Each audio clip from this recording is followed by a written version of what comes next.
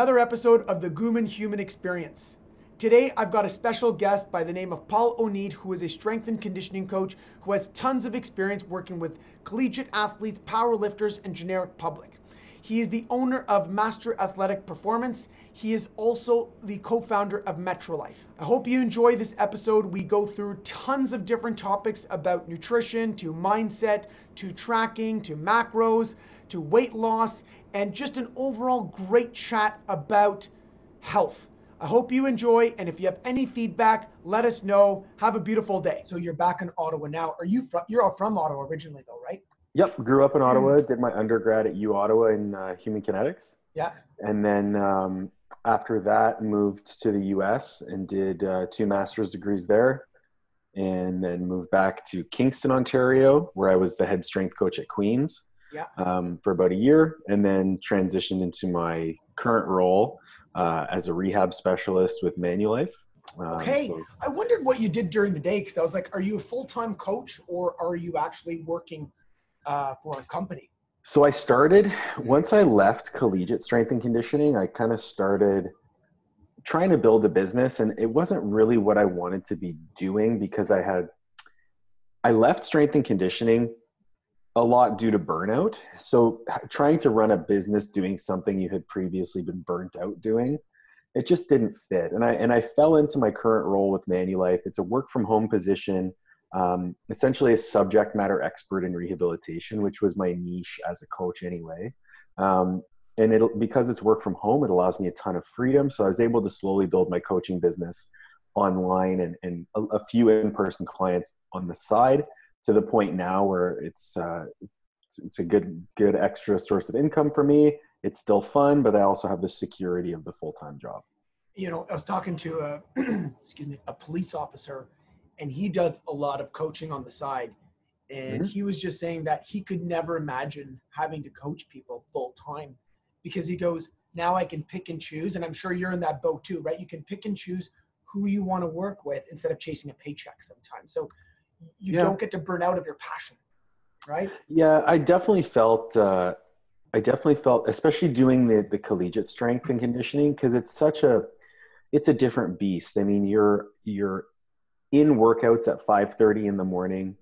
In Canadian strength and in Canadian athletics, it's it's different because the kids come to train around their class schedule. Where when I was in the U.S. coaching, it was the kids train and go to class around their sport.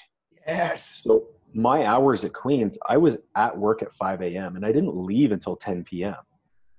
And uh, it was it was exhausting. It was it was incredibly re- rewarding, but after a certain point, it just wasn't the quality of life that I was looking for, and that's what prompted this shift. And so you obviously in the U.S. I mean, it's a different gym culture all there. Is there? Oh yeah.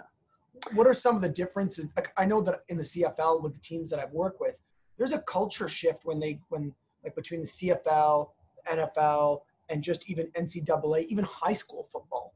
So in when you were in you were in Florida, right? So I was in Florida for two years, I, and then I was in Pittsburgh for two years, Okay. and then I spent about seven months back in Florida.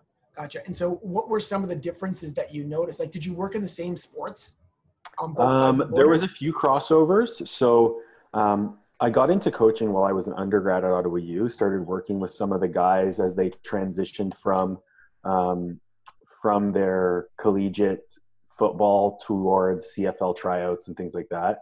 Um, and then when I moved to the states, it was okay. I'm going to go down and work with football because that's what I wanted to do. Yeah. Ended up working primarily with football, but then also men and women's soccer, track, and baseball. Um, and that was just completely eye opening to the level of professionalism that they approach sport with and, and the amount of money. Like, I, I, I went from training our U Ottawa football players in the essentially the campus rec. the dungeon. Uh, we were in the dungeon, and then we were also at the complex. Um, I forget what they called it now. Now it has a name. But it was just like the sports complex now. But when I was there, but uh, to a football and like a like a specific athletic gym that was twelve thousand square feet with twenty four places to exercise, and like it had matching dumbbell and selectorized areas on either side of the room so that you could split the room in half and have two teams do the exact same thing like that was something I had never been exposed to. And it really kind of changed my paradigm of what could actually be possible. Um, and then when I got to Queens and they were like, yeah, we want you to implement a US style strength and conditioning program, I was like, okay, I know how to do that, but I need X, Y, and Z. And they're like, oh, no, you can't have that. Yes. oh, yeah. It, it's, it's, I think when I was talking to one of my previous employers, uh, he was in the NFL and he said to me, he's like, there was no, even I, I remember interviewing for the Montreal Impact, and they're like, Hari, a lot of the questions you're asking, you don't have a budget. Like, we give you a card, you just go get it. And I'm like, oh. And, and, and when you're here, it's like, well, everything's got to be allotted and budgeted. Whereas over there, it's like, you can make our players better. It's like, okay, what do you need? Right. So, yeah. Yeah. Like my budget at Queens uh, for per month was like $125. so like I could buy two mini bands. Yeah, exactly. And uh, and at South Florida, every student athlete. So they had 21 varsity sports. So every student athlete got a MacBook Pro. Um, they got all their like clothing, track suits, everything was Under Armour. All their shoes, all their cleats, all their everything um, was paid for. They had full. Every team had their own team room with lockers and showers and meeting rooms and tech and all that stuff. And um, there was three football practice fields. There was three soccer practice fields. There was two baseball diamonds and a game stadium. There was X, Y, you know, and then, but I also had the other side. Like from South Florida, I went to Robert Morris in Pittsburgh, where it was going from a big Division One A school to a small Division One Double A school. Which, if people aren't familiar, the A or Double A has to do with the uh, the conference that the football team plays in. Um, usually it's related to the size of the school. And Robert Morris had only 5,000 students, 500 of which were student athletes. It's like a tenth of the school is athletes. They had like d- kind of dilapidated practice facilities, and our weight room was like 2,000 square feet compared to 12,000 square feet. But again, we had 18 varsity sports that we had to get through that room. So it was just a different dynamic and then going down again i went to a division two school the university of tampa but tampa is one of the most expensive schools in the country. I think tuition's in the neighborhood of $56000 a year for an international student. Wild. Um, so their weight room was beautiful. It was a little bit smaller but they had less teams and the complex that they played in and practiced in was brand new. So i've seen kind of the whole gamut of what's available but the pre- the prevailing theme is that in the US, if you go to school to play a sport, you're a, a student athlete. And, and, people like, is this gonna be on video or or just audio? Because they always used to be too. like, I'm a student, and they'd hold up the number 2 mm-hmm. athlete, and they'd hold up the number one because yeah. it's like, I'm here to play sports and also go to school. Yeah, I think there's a different culture there too, though, right? I mean, there's a lot of people who um, like if they didn't play sports, you don't know where they would end up, right? Oh, which happens. Yeah. And then number two, I think, but the culture there is like we want to be the best, right? Yes. And you know, I'm sure that you are in situations where you're being pulled into meetings and you're being asked like character of this cl- of this person, and that could make or break their starting point of where they are. Whereas in Canada, it's like, well, they didn't care if he didn't show up to the gym and give him the hundred percent. They'll still put him in if he's a first stringer. I don't know if you noticed that difference, but like a little bit in the states, it has to do more like financially motivated because gotcha. like if you have the starting quarterback of the football team as a projected, you know, second or third round draft pick, and he's a complete butthead, yeah, they're gonna just let him play football. Okay, gotcha. You know, there that so um, there is that because if the coach benches him, then the coach loses games, loses his job, loses his livelihood um, it's a business. In the US, it's a business. In Canada, I would say it's a service. Yeah. So it's something available for students, but it's not driving income and revenue to the to the school. Yeah, yeah, no. And then was it a hard change for you to make that shift from U.S. to Canadian football, like back into the OAU? Um, it was. It, it presented its own challenges, but the kids want the same thing. They want to be the best. They want to compete at the highest level, and I almost felt bad because I was so constrained within my um, within my situation that I couldn't really provide what I felt that they needed. But you make the best of your situation. Like I, I went from being on a staff of, you know, we had five full-time coaches and 15 interns at South Florida to a head coach and two assistants with five or six interns at Robert Morris, and then myself and the other head coach at U Tampa with some interns to just being me, myself, and I with 50 undergraduate students. So there's there's constraints, and I definitely just felt bad that I couldn't do more for them. Would you travel with some of the teams too while you're in uh, Queens? At Queens, no, because I was I was in charge of all of them. Gotcha. Um, but in the states, yeah, I did travel with a few of the teams. Awesome. awesome. And then so now you're working with Manulife. You've started your own consulting on the side. Yep. Um, so what are you doing during these COVID times with your clients? Like, what do you do? First off, let's start with what yourself. I mean, you know, you're a pretty active guy. You love going to the gym. I'm sure that you've had to come up with some techniques for yourself. So what are some things that you're doing uh, to help yourself during COVID to protect your health, protect your mindset, and protect your body? So, for my training itself, I've been quite fortunate. One of my clients and friends actually lives like a 15 minute walk from my house. So, we train in his garage. Um, I've had to make some modifications to my movement selection, but other than that, I've, I've been able to train normally. Um, and it gives me an excuse to take a 15 minute walk to his place and a 15 minute walk home. Um, in terms of my mental health, uh, you know, in my life, I'm in a bit of a period of transition, having just moved back to Ottawa from Calgary. So, protecting my mental health has been very important to me. So, keeping a steady routine um, is number one. So, I actually just wrote a blog post for our company um, about routine and about discipline because I'm I'm very much of the mindset that there are certain things, certain non-negotiable things that I need to do every day to make sure that I'm doing the best that I can. Um, so I make sure to take care of those, and then I have time allocated after that to to do things that I think are fun and, or do things that I can enjoy, whether that's just relaxing or whether that's devoted to another project or hanging out with family, um, doing Zoom calls and things like that. So for me personally, it's it's very much routine oriented. Also setting up my new space, so setting up my home in a way that I feel comfortable. Um, and again, I'm, I'm very much like a once I have a dining room table, I'll no longer be eating on the couch. Yeah. And once I have an office set up, I'll no longer be working on the couch or eat or the dining room table and segregating pieces for what they're meant to be for.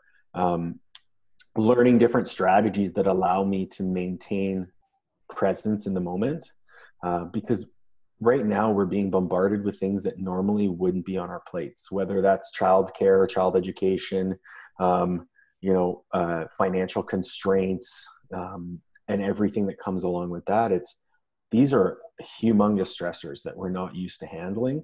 But by being so disciplined in the day-to-day routine aspect you in my opinion you're better able to accommodate those things that have come up out of the blue. So for me that's a that's a calming sensation um, so how do you put that together? So obviously you do your workouts. I, for me what i want to make sure is we're how are you doing that? So we know every day okay. you're going to go for a yeah, workout yeah. for an hour or two, but do you journal? Do you take 20 minutes? Do you do a Sunday of planning and organizing? How, how does that look like for you in a day? So daily basis, uh, I wake up around the same time every day. So between 5:30 and 6 a.m. Gotcha. I'll come downstairs, have my coffee, uh, journal, and then I'll use my app. I'll use MetriLife, uh, which is an app I developed. We'll um, talk about that. I definitely want to talk we'll about talk, MetriLife. Yeah, for yeah. sure. Um, so I'll use MetriLife. I'll make my breakfast. Uh, I'll eat my breakfast, and then if it's depending on what time it is and how long I spent journaling, uh, I might answer a couple emails. And then around 7 a.m., I'll take my dog to the Conroy Pit or around the neighborhood. We'll go for a 30 minute walk. Uh, and I usually listen to an audiobook. Uh, right now, I'm, listen- I'm listening to Sapiens. Very good book. Yeah, I have the great. book. I've read. I've read the two. I read the second one by accident. Oh. So then I read the third, and then I bought the uh, first one. I just bought it. She's a great author. He or yeah. she. I, I have no idea, but the the narrator is British, so it's like very calming. Yeah. Uh, so I'll take my dog to the to the Conroy Pit, and then by the time we get back, it's around eight thirty, and I start my workday with Manulife. Um, within my workday, I structure breaks. So I will put my phone on Do Not Disturb, which is the best feature that your phone is available with. I put it down, I put it off to the side, I get my work done. I have a timer as well where I'll take breaks every 45 to 50 minutes. Get up, walk around, go to the bathroom, grab a drink. Around lunchtime, I'll go for another walk, listen to the book, take time for myself. Um, if I have extra time at lunch, I will answer some more emails for my for my clients, and then I'm back to work for Manulife until Do about. you, do you eat and then go for a walk? Sorry to interrupt. Do you eat then go for a walk, or do you walk then eat? How, how does that work? I I eat first. Okay, gotcha. Yeah. No, because so I'm a I'll- big believer in taking post work meal walks, right? So I just want to. Yeah, yeah, it's a big. Uh, that's that's been a game changer, and I'll kind of there's we're, we'll talk about weight loss towards the like Yeah. in this conversation, and that's definitely going to play into it. And then by around three thirty, I wind down my workday. I'll have my pre workout meal. Um, I'll walk over to the gym, train for a couple hours, walk home, eat my post workout meal, and then I have about three three and a half hours more of work time to do. Um, so a lot of my day is work, uh, but That's your passion project then at that point. it's my passion project is what i want to be doing um, and uh, in time balance balance comes it, it ebbs and flows and it- i firmly believe that balance shifts in your life depending on times of the year and things that you have on your plate um, being a single guy living alone like i don't have other stressors that are placed upon me so i have a lot of extra time to devote to things that i really enjoy and believe in And then, so then, what time would you usually go to bed at? So you're up at 5:36. So you're probably in bed about what 9 10 9:30? 10 Okay. Yeah. Um, so I, I'm unforgiving with my seven hours. I will always provide myself seven hours of sleep no matter what. Um, when I'm prepping for a competition, so I, I compete in powerlifting. When I'm prepping for a competition, I'm, I, I- I'll push that to eight. Gotcha. Yeah. And But so, right now, training doesn't mandate that I need that. So and so obviously they're not competing right now. So what are your? So obviously, so you've got your um, your schedule for the day, which Yep. seems pretty good. Like really just simple, right? Like I think there's Yep. something to it. I think that's why I wanted to get into that because I think people think that, you know, when they look at people, say, oh, they must be doing something fancy or crazy. It's like no, we just use our watch, timer. Uh, we enjoy taking our walks, our sunshine. Like there's Yep. just little breaks in between, but it just it's like a bear. It doesn't stop all day long, right? Yeah, yeah. Um, and it's I'm a big believer that a there there should be simplicity in planning and savagery in execution, regardless of what I do.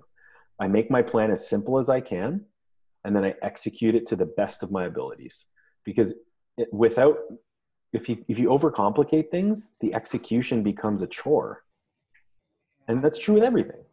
I, I say that all the time to my clients. I'm like, just under underthink it, over execute it, right? So Yes. if you want to eat better, cook for two hours. Don't just say that you're going to eat healthier. No, you have to say, I'm going to cook for two hours a week and I'm going to make my lunch every day. There, planned, simple. That's the goal for the day. Let's Yep. get it done and then over execute that instead of being like, well, Hari, should I do keto or should I do? It's like, no, no, no, just start. Just start somewhere. So, really big fan of that. And so, one of the big things that intrigued me about why I wanted to bring you on to the podcast was I remember, was it, I don't know, two years ago or three years ago, Yeah. you really leaned out. Yo, oh, yeah. And I remember you saying something like you hated it, it sucked, and that you would you wouldn't recommend this to people. I don't know if, if it, was, it was a post or something like that, but yeah I, I remember it because it came up recently. And the reason i think that this this podcast is so timely is because i'm actually dieting again. Yes, and same, same goal. Yeah. And I think one of the big things that you know one of my goals of my podcast are is to help people realize that what people are doing in social media isn't truly what like isn't always the most glamorous lifestyle or thing No. that you're going to be able to achieve. And you know because a lot of my clients will say to us and I think a lot of people will say well why can't I have more energy diet and get lean and be the strongest I can be and be in a great mood it's like I think there's a, a certain point that you're going to hit that you can have all that but then there's Yes. a, a plateau breaker where it's like, okay, you're just gonna have to go into workouts aren't gonna be as nice, food's gonna be a little crusty, you might need a little bit more sleep.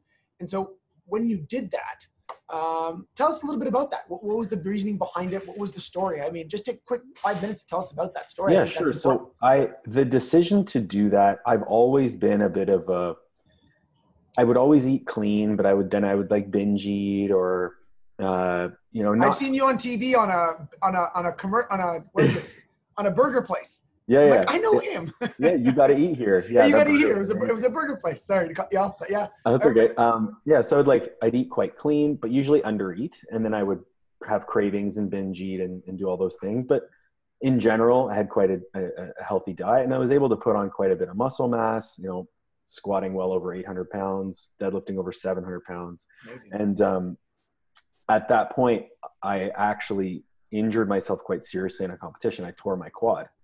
So I was like, well, I can't really train the way I want to be training. I need a goal. Like I, I always have to have something in my mind to push for. So then was I'm just going to get really, really shredded. So I reached out to a buddy of mine who's a powerlifter or a, a bodybuilding coach, and I was like, let's pre- pretend you're prepping me for a show. So I did everything. I did the cardio. I did the chicken and rice. I did, you know, the the training where it was like, you know, feel the muscle, don't worry about the weights, all that stuff.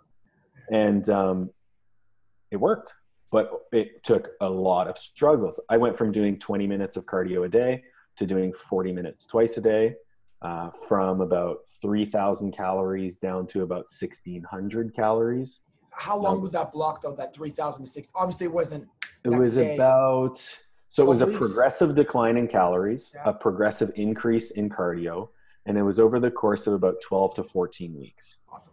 So again, just like just like training, your diet should be progressive, um, and that's something that I still believe in. But what that taught me was that there was a point about midway through where I was like, "Man, I'm making pretty good progress, and I don't feel like I'm dieting. I think this might be sustainable." And I looked in the mirror and I was like, "I kind of like what I look like. This is cool." But I'm like, "No, I committed to this. I'm going to do it. I'm going to get pretend I'm getting ready for a show." And I did it to a T. I only cheated when he allowed me to, and when he told me to. I only, I ate only the macros that he prescribed me with the foods that he prescribed me. I did all of the cardio, and it was about maybe three weeks before we decided, okay, we're going to go to May 31st, or sorry, April, March 31st. That was the end point. That after that first week of March, I felt like I was a zombie. I felt like I couldn't concentrate at work. I couldn't, uh, and, and I'll be completely honest, I couldn't be intimate with my wife. I was so tired. Yeah. Um, I was just dead to the world, like zoning through the day. But every single day, I got visibly leaner and leaner and leaner and leaner. So that progress got super addicting. Yeah. Um, afterwards, we did a we did a, a reverse diet. So slow, progressive increase in calories over the next little bit to a point where it was kind of sustainable. And I did gain about I did gain about 10 pounds back, but I maintained quite a bit of leanness because at my lowest weight, I don't truly believe I weighed that. I think I was just glycogen depleted and dehydrated when I got down that low. But I settled around that two, 225 mark.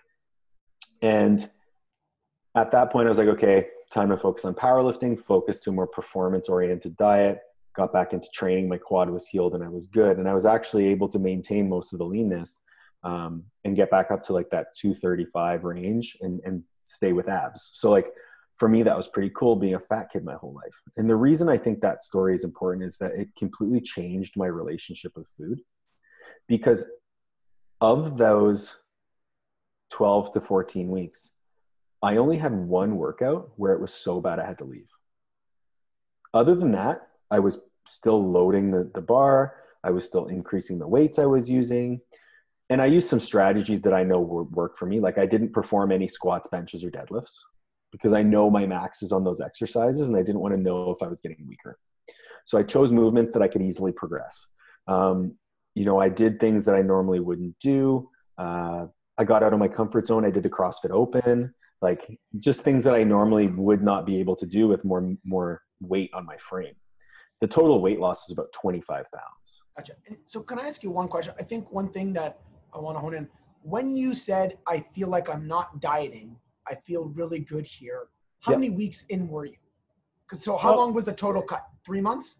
Yeah, we'll say three months. Just so about halfway through, like that six week mark, I was probably doing about 35 to 40 minutes of cardio a day.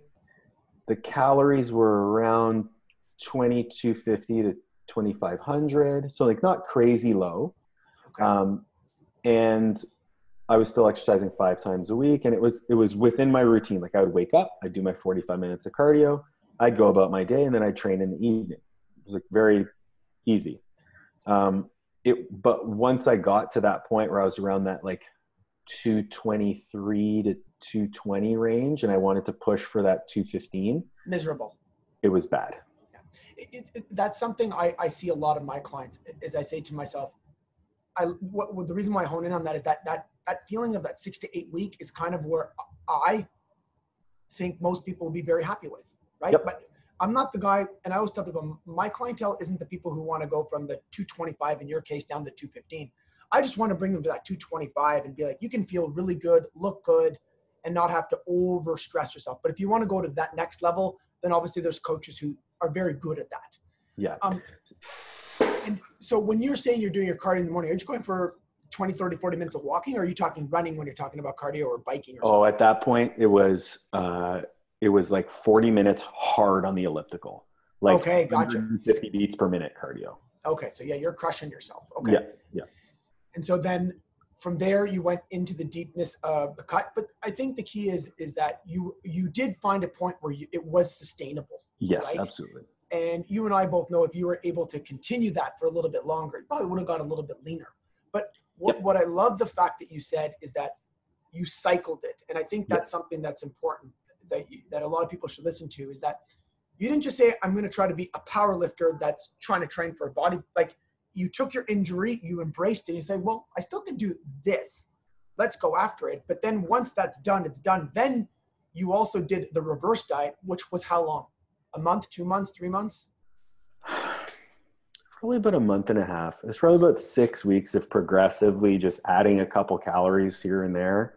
Um, and it was strategic. Like it was, it wasn't like a I'm going to binge eat and get back up to a ton. It was, I think it worked out to about whatever the calories were at the at the end. We jumped to what they were four weeks prior to that and decreased the cardio, and then held that for a couple weeks, and then slowly started increasing more food.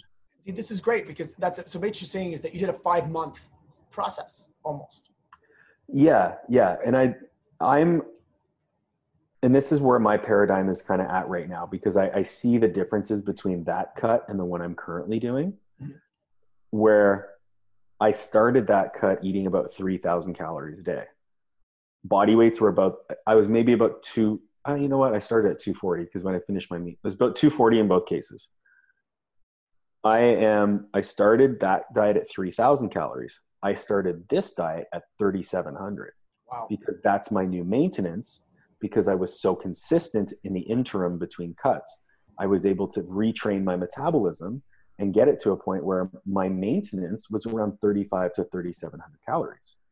I've lost 15 pounds to date over since February 15th ish, around Valentine's Day. I've lost 15 pounds and I'm still eating 2,850 calories and I have not done a single cardio workout.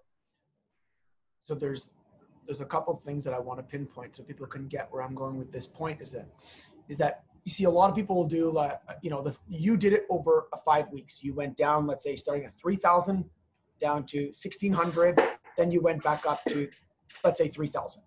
Most people what they're doing is they're starting at three thousand, dropping to one thousand the next day, trying to mm-hmm. do that for 30 days and then they go somewhere and then they're back up to 3000 per day and they wonder why their body is just they're not getting lean they look abused they're tired they're beaten up you know whereas people like me and you are saying hey if you're 3000 let's just bring you down to like 2500 right get some organization get some good food going get some exercise build a routine and then slowly start to chop it down so you don't beat yourself up because you can't live in that type of deficit for that long and see results So you'll get people who are so head, and I get this a lot because I deal with athletes. You'll get people that are so headstrong that they can live at that thousand.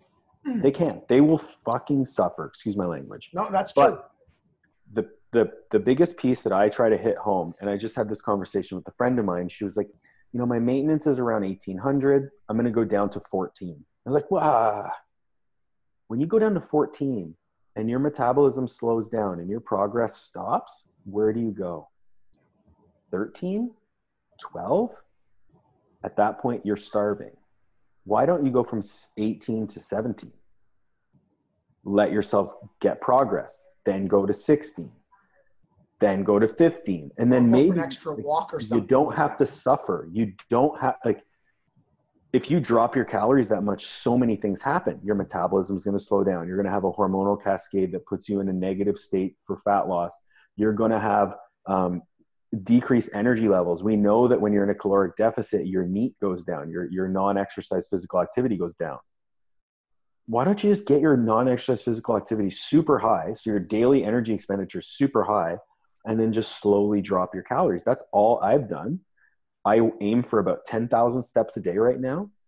On my two non weight training days of the week, I do conditioning because I love, I, I enjoy it. So I'll do conditioning, but I still get my 10,000 steps a day I've lost 15 pounds. I'm still eating almost 3,000 calories. So like for me, that that just hits home, and that's one of the things that I, I do a lot of nutritional coaching or counseling with my my clients is aim for eating the most amount of food possible to achieve your goal. It's not about what you can do the least of. It's if I can eat the most amount of food possible and keep losing weight, that's going to be the healthiest. 100%. And so, what are some of the strategies that you use to educate your clients because you know this is the platform for that where we're trying to get people to understand that you know you, like i tell my clients if you want to do like a real fat loss let's do it over six weeks not two weeks right? Let's yes. come down slowly let's do as i say week one gpp let's just get everything ready. General preparation phase two weeks we'll start to like come down every week and then we'll start to come back up every week after that right? So this way it's coming down it's coming in whether it's a three week period or it's a four week period let's just not jump in, jump out, right? And I think yeah. that's something that we've all, as coaches, probably made that mistake, right? I, I made it a lot. It's like, oh, let's just cut you down and worry about it after. Whereas now I would never do that. But the key is, is that I think what you said, and I love that there, is that a lot of people say, well, I'm eating 1,800 calories a day and I'm working out once a day and I'm doing 5,000 steps a day. Well, why don't you just go to 10,000 steps per day and not have to cut your calories and you can still feel great and while just upping and increasing your list throughout the day right? So these, there's different strategies. It always doesn't have to be food. It can be combined with activity. Right? It can, can be combined with activity, but then you think about like the benefits of non-exercise physical activity. So like unstructured play or uh, or walking or whatever, you're getting outside, so you're getting vitamin D. You're getting your blood your your blood circulating through your body. You're improving your aerobic capacity, which will increase your work capacity, which will let you train harder, which will let you recover harder, so all of these benefits come from just increasing your daily physical activity. And if you're increasing your physical daily activity, which is allowing you to train harder, that means you can burn more burn more calories within your training session. You're indirectly influencing that that calories in, calories out. Just by walking more, you're you're working on both sides of the equation because you're training harder and you're exercising more. So the other piece is that when you're walking or moving, you're not hungry. it's, uh, I think one of the things I've told my clients, and I, you know, over Christmas, I just say after every meal, go for a 10 minute walk uh, because it also gets you away from food. You clean down the kitchen yeah. and then you can say kitchen's closed for three hours, right? So just that simple cue, like you said about timers and making sure you go for a walk at that 55 minute or 45 minutes. Same thing. You eat, you wash down the kitchen, you go for a walk. It improves digestion. It drops your blood sugar and mm-hmm. it also gets you away from food, right? Instead of just picking away at it. And uh, one of my big things is is that uh, don't eat until you eat until the point where you say, if I take one more bite, I wouldn't want to go for a walk, right? It's just a good oh, settling like in, right? That's what I tell my clients who don't want to weigh or track all their calories. I'll say, okay, just eat your portions to the point where you say, if I eat one more bite, I'm not going to go for a walk because then you're still going to have energy for the next three hours. Yep. Whereas if you eat that one or two extra bites, you know you're going to eat 13 more, and then you're going to feel sleepy after.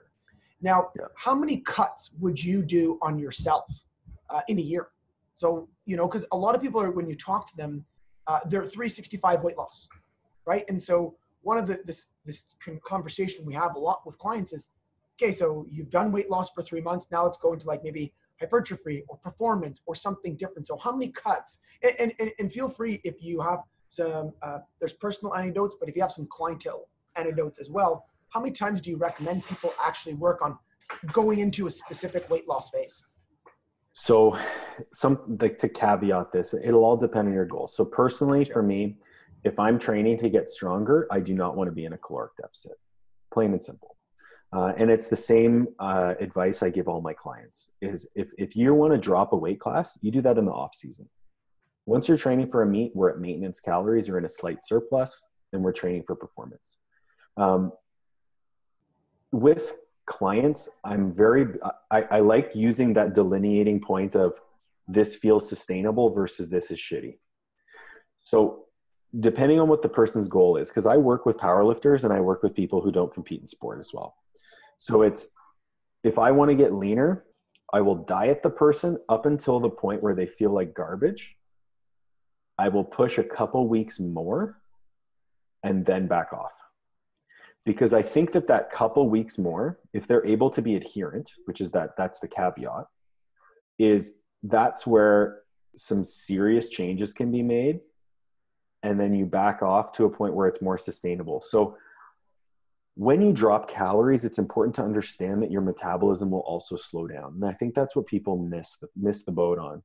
Your maintenance calories, quote unquote, is always changing. So my maintenance calories at 10,000 steps a day is different than my maintenance calories at 5,000 steps a day. My maintenance calories now at 221 pounds is drastically different than my maintenance calories when I was 240 pounds everything plays a role. So, looking at the progress and looking at how you feel and what the scale is doing is going to be really important. So, we will cut for a period of time, and I'm very progressive with it. I'd never cut significant amounts of calories in one shot um, because my goal is to protect the training session at all costs. Um, and I do coach people on like workout nutrition, which I actually had a really cool conversation with my mom about this morning. But um, so we will cut to a point where they feel like their performance is dropping. I'll push that a couple more weeks. Then we'll start to reintroduce calories and we'll spend at least a hat, like at least I try to get, depending on the timeline that they're looking at, at least the duration of the diet at maintenance. So if we dieted for eight to 10 weeks, I want to spend at least eight to 10 weeks at maintenance because what we'll find is that maintenance allow, calories will go up, which is cool because you'll get to a point where, hey, I've lost, say, 12 pounds. And then when we started increasing food, we gained about three or four, but we're eating more food now, nine pounds heavier or nine pounds lighter than we were when we were nine pounds heavier because our metabolism caught up. And that's a really cool place to be. And then you've already built that base of healthy behaviors so that when you jump back into the cut the next time, your first initial progress will be much quicker and you won't have to suffer as much like i'm noticing like personal anecdote here when i was dieting uh, two years ago i was miserable i'm fucking great right now i'm still getting stronger i set a couple prs in the gym like i got no issues right now and i've lost 15 pounds but it's because i've built those behaviors over time to know what i need to do in order to keep progress going so, so what are some of those? So tell me about what are the top five behaviors that you think that every single person today listening could benefit from doing every day? Like, what are those, you know, like those five top nutrition non-negotiables that you think every, I'm sure that you, because you deal yeah. with, the cool part about you is that you deal with high performance yeah. and you deal with, you know, general pop. Yep, um, for sure. But, but what's interesting is there's got to be five characteristics oh, that absolutely. are the same for all those. So what are those? What are those top two or three or five that you know for sure that you need to be doing to be successful? Whether you're performance, weight loss, what are those five? So number one is sleep hygiene. So sleep is when we recover. It's when our hormones reset themselves. It's it, it is the most important. If you have poor sleep, it's going to be a silent killer. Blood pressure issues, blood sugar regulation issues, all that stuff. So protect your sleep. Do you Number recommend two, trackers to your clients or anything like a Oura ring or a Whoop band? Have you ever tried any of those or big, no? I'm not a big proponent of those simply because of the reliability of the data. Gotcha. If you're waking up feeling rested, you're having good sleep. If you wake up groggy, you're not having good sleep. Plain and simple. Um, but it's important to have something that you're able to track those those reflections on it, uh, and that's where MetriLife will come in later on. But so sleep hygiene number one Two is stress management. If you are constantly stressed all day, you have a high level of cortisol all day, you're drinking coffee all day, that brings a whole host of other problems. So manage your stress, keep your caffeine moderate. Um, doesn't mean you can't drink coffee. Just means you know maybe you cut it off at 2 p.m. What's your um, limit on? What's your limit that you usually work with your clients on coffee? Do you have like a limit of where you say, hey guys, like if you're going over one to two cups, there could be an underlying issue, or do you have a, a limit or anything of concern? I only address it if so. Say we get to a point and their sleep quality is really bad. I'll address it like how many cups of coffee are you having gotcha. a day? I use that kind of as a, a gauge. Yeah. So sleep, stress. Number two is prep your food. Or number three, prep your food. So I like to prep my food uh, three times a week personally. Uh, most people can get away with either one big one and then freezing it or two. Um, if you do two, it's less time in one shot. Uh, I work from home, so I'm pretty spoiled in the fact that like I can throw on some chicken, set a timer for 30 minutes, and then go back up and get it. Um, but I know for a fact most people can't do that. And in in with prep your food is prep your meals the day before. So if you're going to be leaving, prep your meals the night before. It takes 15 minutes. Have a have a a bowl of rice, a bowl of beef, a bowl of chicken, and a bowl of vegetables, and then just make your meals. So like that's what I do. Um, so we got sleep, we got stress, we got meal prep. Four is NEAT. So keep your daily physical energy expenditure high. Um, if you're able to do that, it's it's a game changer. Um, and then number five is going to sound super like like no brainer. It's eat real food. but you don't take I know because you know why I love that you say that because you know a lot of these influencers you know like uh, there's a couple of guys that I follow that when you listen to their podcasts their social media and them don't match right because all they're showing is I eat jube jubes I drink beer but then when you talk to them on their podcast like oh yeah 85% of the time I'm eating real food right but you know what gets the likes is me having a beer a cheeseburger and a poutine right so yeah I love that like, so it's again I am not I'm not the typical client that I would see. So, for example, I've been dieting since, or quote unquote, I've been dieting since February 5th. I haven't missed a macro since February 5th, and we're May 18th. That doesn't exist in real life, but it, it's just how I'm wired. Um, so it's finding strategies that work across all all frames of reference that allow people to come as close as they can to meeting their goals each day. And I think the thing is too that you also love it though right? I, I, think that's something that I've come to a conclusion to that a lot of clients are like, oh, I just can't. I'm like, you know, if you just turned into putting these habits together, but actually enjoying, like, you know, when I eat my rice, like today I had lamb and berries. I love mm-hmm. that meal. I truly love that meal. And I mm-hmm. think that I like working out. I like going for walks. I enjoy drinking water. I think too many people try to put a chore behind it. Yes. Like, oh, I'd rather be drinking beer. No, you wouldn't because everything you told us in your intake forms was you want to be the opposite. But they make it a chore. They make it like a punishment. When I said making yourself better is something amazing. But so do you have a percentage of real food that you give your clients to say, hey, like 80% or not? Because obviously it sounds like you're like a macro and calories. So do you say, for example, out of these 15,000 calories per week, I want to make sure that 14,000 of the real, keep your thousand to yourself with something that's flexible? Or do you just kind of leave it up to the client to do that? Or do you kind of give yourself percentages? It depends. I've never done the percentages thing. Um, I'm very big on like, and I also don't give all my clients macros. Like some of them will work off portion sizes because they don't want to. They don't want to count. They don't want to measure. They they just can't be bothered. And I'm like, okay, that's fine. We'll figure out something that you can do that allows us some form of control, quote unquote, of this variable that is diet. When you're dealing with high performance athletes, we're trying to reduce variables. So if I know how many macros you're eating of what, what, and what, well that's a variable that's controlled for so if your performance goes down i know where to look um, when you get to the flexibility of the plan i educate them throughout. It's like if you want to have a pop tart after training if that's probably going to be the best time that you're going to have a pop tart because it's going to spike your insulin and help you you know replenish glycogen and all that stuff. But just know that that's not going to be very filling and out of your caloric budget of the day it's going to be quite a bit. So you have to factor that in and, and if we're dieting it's all well and good to have those foods and it, you know it's not ideal but as your calories and macros drop there's just less room for that because or else you're going to be starving like if i only give you if we're at the tail end of a diet and you're only eating 150 grams of carbs or 100 grams of carbs a day that pop tart is 75% of your daily carbs like, Yeah. are you really going to want to? It's it's like if you're broke, right? You have your last hundred dollars. What are you going to spend it on? You know, I'm going to spend that hundred dollars on you know some spaghetti squash and some cruciferous vegetables and things that fill me up and provide me nutrition. Like I'm not going to spend it on a pop tart.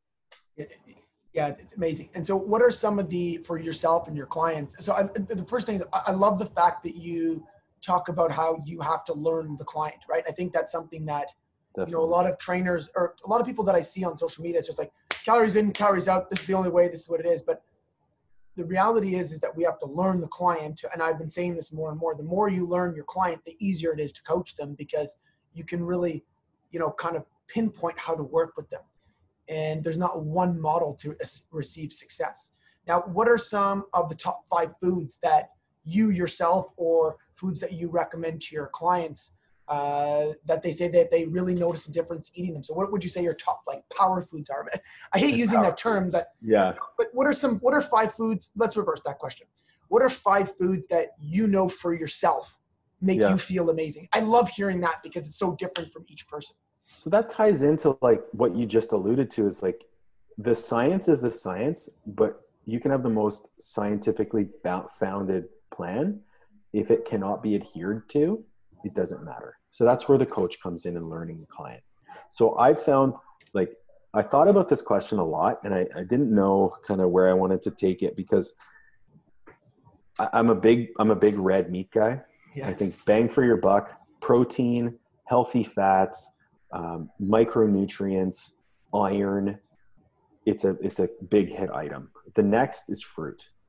I think people forget how good fruit is, and So, they so name the fruit. Did you have a specific fruit that you enjoy, or just say all? I don't. I really Yeah. don't. I eat, Gotcha. I eat berries. I eat tropical fruit. I eat. Uh, I eat an apple before every training session just because I think it's delicious. Like, so mo- like I try to get all my clients to eat at least two pieces of fruit a day or two servings of fruit a day.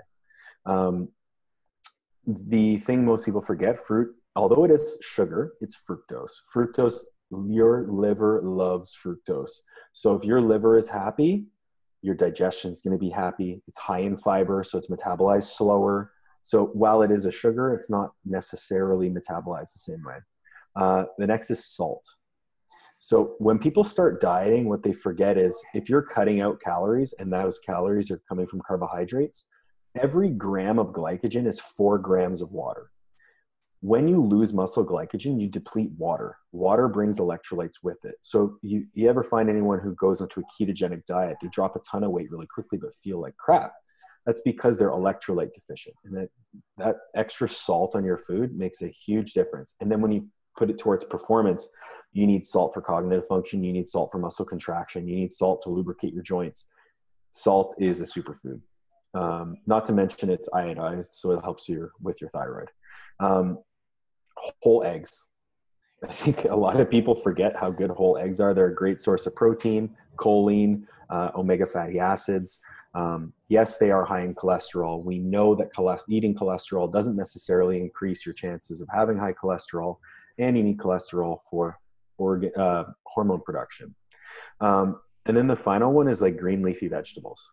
Like fill your body with things that have the highest micronutrient content. So think think micronutrient content and then transfer it into macros. I like fruits.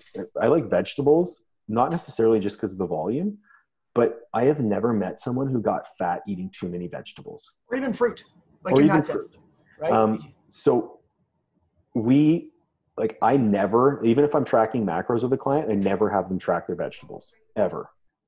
It's just a waste of time. It's tedious. Um, I like to mix my vegetables, so I'm not going to measure how many carrots I had and how many cucumbers. And you eat carrots though? Whoa! I do. What's I know they're super high, super high in sugar. This conversation is over. You're ashamed. I love Um, it. People say to me, Hari, I don't eat carrots. There's too much sugar. I'm like, you ate ice cream three times this week. Before Oh. coming in, we're scared of carrots. It's like, wait a second, we've just lost everything out there. the So cognitive dissonance is, is Yeah. ridiculous. But uh, yeah, so meat, fruit, vegetables, salt, whole eggs. I think there you're there. I, I and leafy greens. I, I can't. I'm. I. You know. I was saying to my clients. Um, I always say there's two types of clients. You can either do low. I, I'm a person who likes low variety of food, um, and I don't really like to calorie restrict. I just Yep. kind of like want to know. So, you know, I've come to this conclusion that if I pick up a book upstairs in my library and it's either on digestion, hormonal health, um, performance, these are the foods you'll come up with. Meat, fish, or eggs will always be there. Mhm. Uh, leafy greens, broccoli, cauliflower, Mhm. uh, berries, olive oil, sweet potatoes, tea, broth, maybe lemons will probably be and a nut. All nuts are kind of have some kind of micronutrient health to it. Yep. If I was to pull out like that's what I eat, I, I don't really deviate too much from those foods. That way, when I do go out with friends, I can have a cocktail or have something with them. But I- I've really come to the conclusion exactly what you said, and salt would be a power food. But if you start to look at the foods that make people's diet simple and Mhm. just feel nutritious and just start feeling better, I'm, I'm convinced that those 10 foods will always pop up, right? And anybody who I talk to who's worked with a lot of people, you know, because the red meat thing or the protein thing right now is kind of turning into uh, not a debate, but it's people are like, oh, well, you know, I heard meat isn't good for you. It's like, but wait a second. Whenever you deal with a client, I'm sure you have clients that come in and you ask them, how do you feel out of one to 10? They might say five out of 10. And when they start to eat more meat, uh, they start to say, hey, we feel a lot better. Yeah, without fail. Without Right. fail. And, and a lot of people don't know what feeling good is. Um, there are times when I do not prescribe, like, if, if you want to talk about like optimal protein ranges, when we talk about performance, you're looking at like 0.8 to 1.2 is going to be that sweet spot for people. If you're trying to gain weight and you're eating a surplus of calories, you don't need as much protein because because your insulin is going to be higher because you're eating a, surplus of calories. So that's going to be protein sparing. So you don't need to eat as much. Then, if you're dieting, we know that protein is going to be anti-catabolic, but it also has a high satiety rate. So you push that protein up high, up into that 1.2 range. It also has a lower caloric yield per pound per gram. So you're only assimilating about 70% of the calories in, in protein. So while you may be eating, you get to a point where a client might be eating 1800 calories, but then you shift some of those calories to higher protein and then their weight comes down, but their calories stay the same. Higher thermic effective food, lower caloric yield, higher, all that stuff. So it's, and knowing that and knowing how people respond is really important to kind of getting that buy-in because you might adjust their diet and they say, well, I'm eating the same amount of calories. And I'm just like, ah, just trust me, Yeah. and so then resources wise what are some resources that you send people to for nutrition do you use who do you use who does paul use for resources to learn about more nu- about nutrition Um, a lot of my knowledge on nutrition comes from my education, obviously. Yeah. Um, but for nutrition, I'm I'm big on the Renaissance Periodization Group. Yeah. Um, they are they do a terrific job. Uh, Layne Norton does a terrific job of clarifying, um, like especially with when it comes to if it fits your macros type dieting.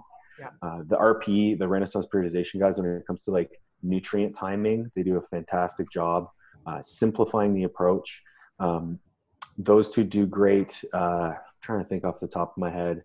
Um, like the yeah, I think those two off the top of my head, those two come come Gotcha. first and foremost. Um, but I think most people would stand to focus less on the minutia of science and focus more on those big rocks of behaviors. Yeah. Because the science okay, let's draw a parallel here. So we're talking workout nutrition. So intra workout nutrition. If you're a science person and you're trying to run a 10K, you know, it's probably going to take you about an hour and 30 minutes because you're a novice runner. But your goal for running that 10K is because you're using it as a means to lose body fat. Well, if you were all about the science, you would know that for the highest level of performance for exercise over over an hour, you're going to be want to be adding about 10 grams of carbohydrates per every 15 minutes of exercise over an hour. So then you're this person who wants to lose weight, but then you start eating 50, 10 grams of sugar for every 15 minutes extra you exercise. Yeah. You're missing the point. Your goal is to mobilize fatty acids. Your goal is to lose body fat. You do not need to be supplementing with carbohydrates intra training. Even if it's the best thing you can do for your performance, it's not something you need to be doing for your goals. So look at your goals, look at the big rocks, turn over the big rocks. And then once you have the big rocks focused on, like that big pick, those big picture items of healthy behaviors and habits, then you can dive into the science side. Because if you look at the things that are going to make you successful, even as a high performance athlete, I could put together a plan that is like macros for the day, macros per meal, an approved food list, nutrient timing, different meals, uh, different meal options on training days and rest days. But if you can't figure out if a, uh, an orange is a fat or a carb, it doesn't really matter about the plan that I put together for you. So my my work with my clients is very very very basic to start and it always increases in complexity. And regardless of every progression I have in place, I always know a regression. And that's where that's the best place to be. So those two resources, RP, Layne Norton, uh, yourself? Yeah, myself. I mean, I'm pretty good. I'm pretty good. Your yourself, you know. Um, are you guys taking on? Are you taking on new clients right now, or are yeah. you full? Okay. Yeah, I'm taking on new clients. Uh, you know, I lost a few clients on the training side when COVID started. Yeah. Uh, one thing I did do, uh, and I, I know a lot of people who did do this as well as I know a lot of people who didn't, but I, some of my clients weren't able to work during this time, so I may not have like I had one guy, he's like, I can't, I can't pay you. I'm like, that's fine. Don't pay me, but I want you to check in with me every Saturday still. And, and, you know, that to me, that was nothing because it's an email and a reply, but for him, it was accountability. And so that like, I've done that for a few clients. There are some clients I still program for because they might still have access to a gym, but they just can't afford to pay me. That's fine. Um, I know that that's going to be business that comes back to me tenfold in the future it's so funny because I was talking to clients and you know I'm trying to do my best to call them or email them, see how they're doing, how's everything going, and they're telling me that some of the people that they've worked with, that they've been training with for two times a week, for let's say three years, haven't even called them once. I'm like, how is that even?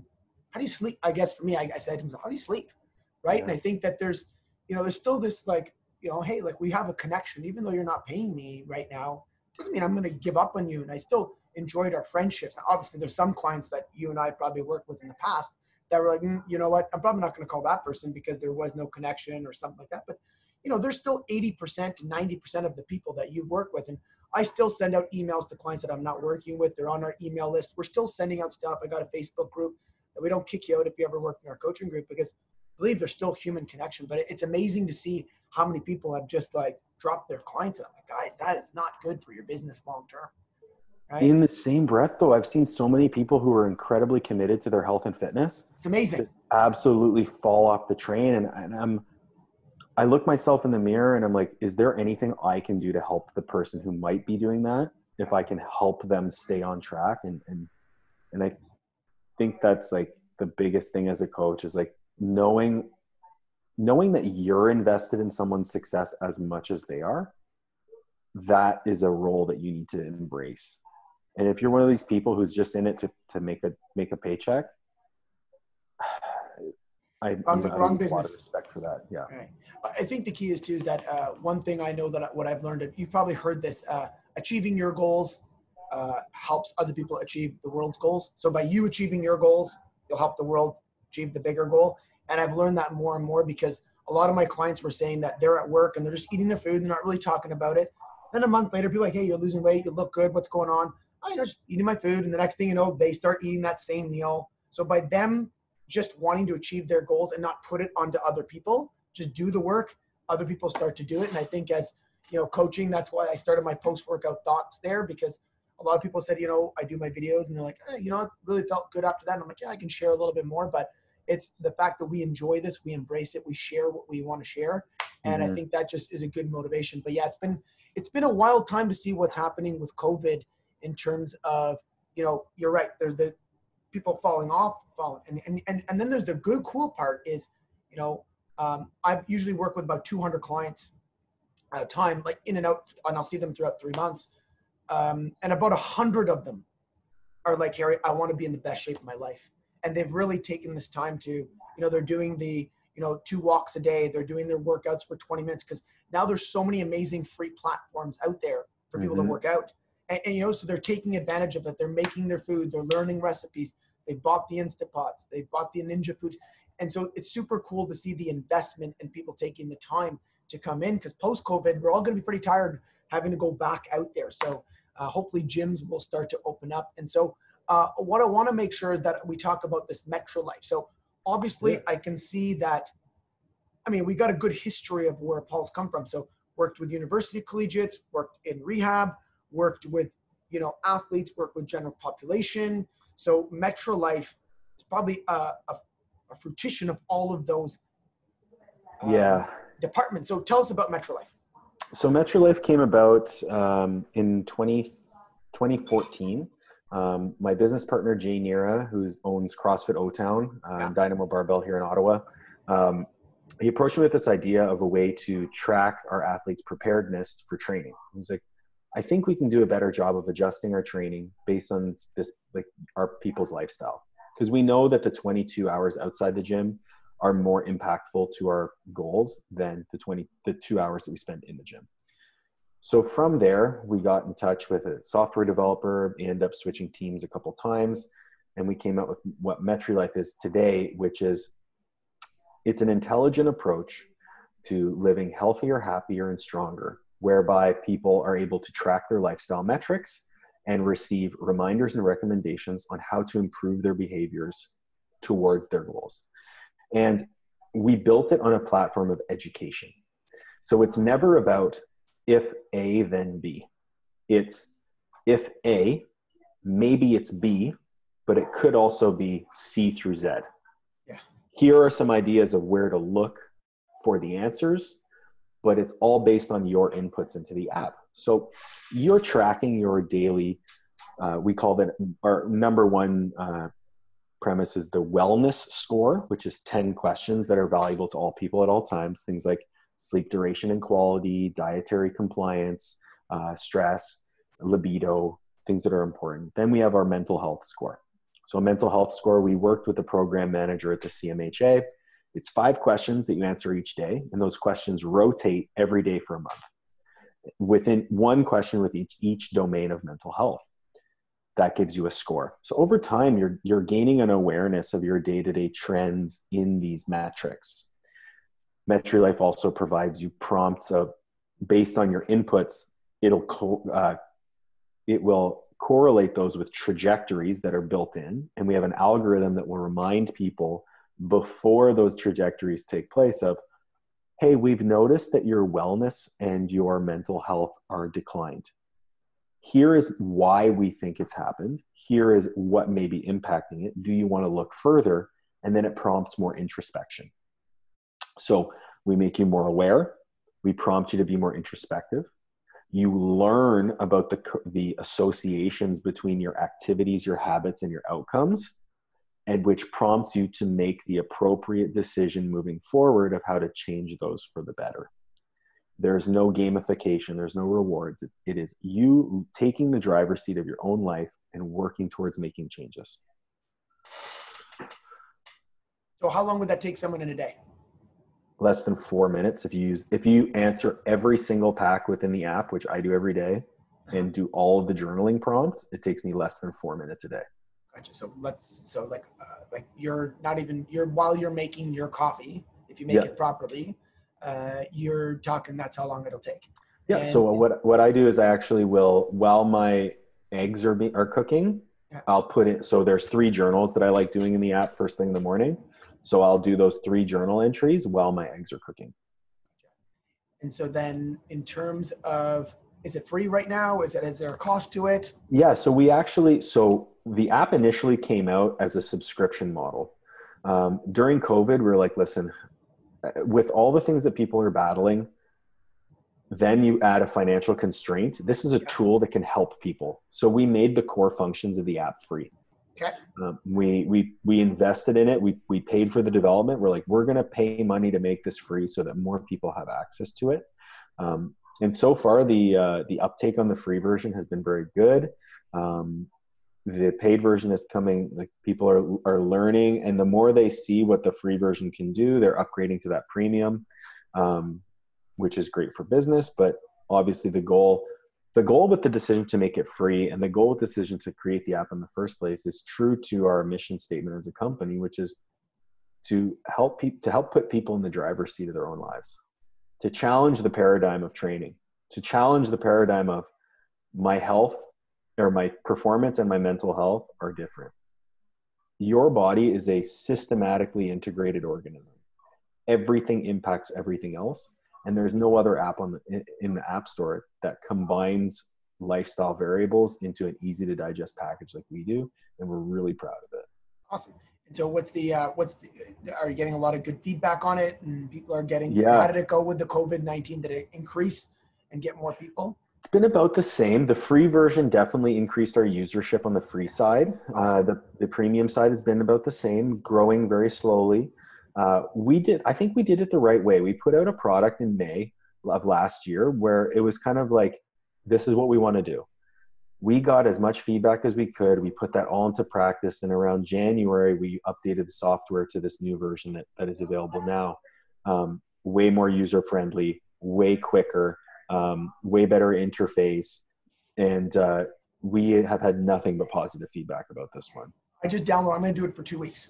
Nice. I'm going to commit to two weeks every day. I'll do it.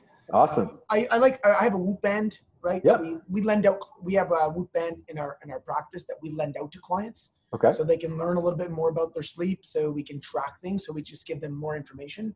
But I, am going to give it a shot for two weeks, and I'll, I'll, give you my feedback as well. And I would love hopefully it. some yeah. of our clients that give it a shot as well, because Ottawa-based company, right? So we want to Yep. support local and we want to see what it's all about. To you know, I'm all about little tracking measures that can help me just kind of learn more about myself.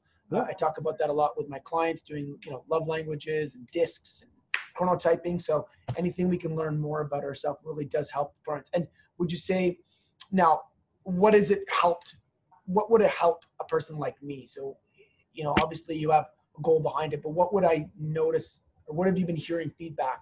So with yourself, you're you're looking at someone who's already very regimented, like me. So I the thing that I gain insight on is the interaction between variables. So I might know that you know my sleep last night was pretty bad, but you know my stress was moderate. I might have an okay training session.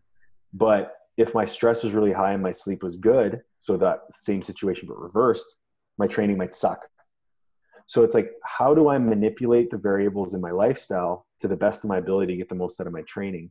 I think we spend way too much time thinking about like, I didn't have a great day today, so I'm going to train light, rather than the training is the same. I'm going to train my ass off. How do I manipulate this outside thing so that I can train my ass off? And that just like diet, just like your maintenance calories, that's always changing. Everything is always in flux. And so um, having a, better awareness and understanding of yourself goes so far into this. Like, like I said, I might be dieting, but I'm still hitting PRs in the gym, still managing my stress. Like, and that's because of MetriLife. And, and I, I can speak from the heart and say that through some of the hardest times in my life this last year, MetriLife has allowed me to navigate those to a better, a better place. And, and I don't think many people can say that about a product they built. Like I get really fired up when I start talking about it. That's the beautiful part about having owners talk about their product, right? It's it's it's that you know all the fine details you've put in your heart, you've put in your soul into this, and that's why you know we just had an oil uh, Aurelius Foods on our last Mhm. podcast, and it was just crazy, amazing, and passionate to see him just tell us about olive oil. But he loved it. He truly loved it, and I think that uh, those kind of passions are what build connection to a company and why Yep. people want to do that product to see, hey, like, and you know, you've had success in the powerlifting world, the coaching world. You know, you've traveled, you've done work both sides of the border, and to me, that's Yep. a resume that speaks impact over. Even if you didn't have masters beside you, the fact that you've had that level of impact and exposure, I think, is something that we can all take as you know proof that there's got to be something in this app that is going to have a resonant with me because you have experience working with so many people. So got to be, I'm guaranteed to learn something about myself. So I'm going to do it for the next two weeks to see what it's all about. Thank you, man. That means a lot. I really So- appreciate that. So we'll have some fun with that. But Paul, that was a great podcast. Yeah, man. I Right? had a That lot was, of that was, there's a lot of things talked about. And uh, so how do people get a hold of you? So your, what's your Instagram handle? So yeah, MetriLife, so all that yep. stuff. Tell us all about it. So MetriLife is at MetriLife, so M E T R I L I F E underscore on Gotcha. Instagram or www.metriLife.com. Uh, myself, you can find me at Paul Oneid, so P A U L O N E I D. Um, my coaching is available at www.masterathletic.com. Um, or you can just find me on Instagram, send me a DM, and, and I'll forward you over there. Um, really excited about uh, continuing to build on things and, and where where this can go in the future. Yeah. So you're still taking clients. So there you go, yep. folks. He's still taking on clients. He's still you do nutrition, you do the train, you'll do everything, right? So I'll do everything. Yeah. And if I don't, you know, if if it's out of my wheelhouse, I'll send them to you. no, but in terms of oh, thank you. Uh, the the key for me is um, in terms of COVID. So if they don't have a gym or they don't really, have, you're still able to do programming and workouts, all that kind of stuff. So that's yep. good. Um, no, it's good. I think we need to promote more of local Ottawa, right? I don't call it a competition. I call it cooperation because, oh, absolutely. You know, I know there's a limit on my skills and there's a limit on who I can work with, and I'm sure you feel the same way oh, um, man, yeah. about that. And I think one of the big things is that we have different. Um, I have a different focus than you are, but at the same time, we all have our people that we're going to connect to right? Like, yeah, I get to, and you probably, I mean, I, listen, I know there's people that work with me. It's like, I didn't like them. Yeah, it's guaranteed. I, I've worked with over 4,500 people in four years, yeah. but there's my select few, well, 80% that I'm really going to connect with and resonate. And for me, I'm more of an education space. Uh, whereas I like you're really like personalized everyday kind of detail with the workouts and everything. Whereas I do nutrition, sleep, lifestyle management. We, we get nitty and gritty with clients, but you have a, a, a next level approach that I think people need to know more about, right? And if they want to go to that, they're going to need coaching like yourself. For sure, and this isn't a zero sum game. Like the more people that we get into the into interested in nutrition, interested in training, this isn't like a, there's a dollar amount up in the sky and we're all fighting for it. The more good work that we do, that dollar amount gets bigger. That number of people gets bigger. We're all able to build our businesses if we all help each other out. And that's. And I think yeah. during this COVID time, you know, people, you know, some people let go of their health, but I look at, you know, the root of all the stuff that's out there about COVID is, you know, take care of your health. And no better time for all of us to start saying to ourselves that yes, we have stresses during COVID right now, but also our decision making is down a little bit, right? We don't have to worry about going to take the bus or being stuck in traffic or worrying about what to wear. Like, you know, I'm in my gym basement right now, uh, in like a, you know, my top and I could be in shorts and PJs. I got my Crocs on for sure. Um, nice. But you know, we have that flexibility to have less decision, but really focus on, you know, making good food. And I think that there's uh, tons of benefits that will come from this, but no better time to take care of your health. And you know, 100%. guys like you are doing it and I love it because you've been doing it for so long and that's why I wanted to have you on it. I read your stuff every day. So I appreciate your time and commitment and I appreciate you taking time on this, you know, beautiful day to do a podcast with me. My pleasure, man. Thank you so much for having okay. me. Thank you. And we'll talk with you soon. Yes, sir. Okay, take care.